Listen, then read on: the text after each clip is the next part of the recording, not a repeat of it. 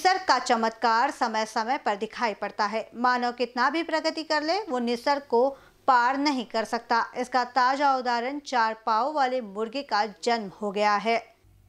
वाघोल स्थित हरदास जी तरवेकर के घर में मुर्गी ने चार पाव वाले मुर्गे को जन्म दिया है, जो परिसर में चर्चा का विषय बन गया है। इस तरह का निसर्ग का नियम तोड़ के जब कोई अप्रत्याशित बात होती है तो उसकी चर्चा सभी और होती है। मानव की मर्यादाएँ कितनी है, यह तो तय नहीं है, लेकिन निसर्ग की मर्यादाओं की सीमा नहीं है। वो कब किस रूप में अपना असर दिखाएँगी, ये कोई नहीं जानता। निसर्ग के आगे आज भी मानव कुछ भी नहीं है, लेकिन विज्ञान के भरोसे वो निसर्ग को चुनौती देता रहता है। लेकिन आज भी सैकड़ों रहस्य है जिसका आता पता मानव को नहीं हुआ।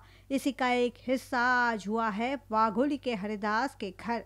मुर्गी ने चार पैरों वाले मुर्गे को जन्म दिया, जो किसी के लिए अचरज भरा है। बी न्यूज़ के लिए हिंगनघाट से रवि एनोरकर की रिपोर्ट।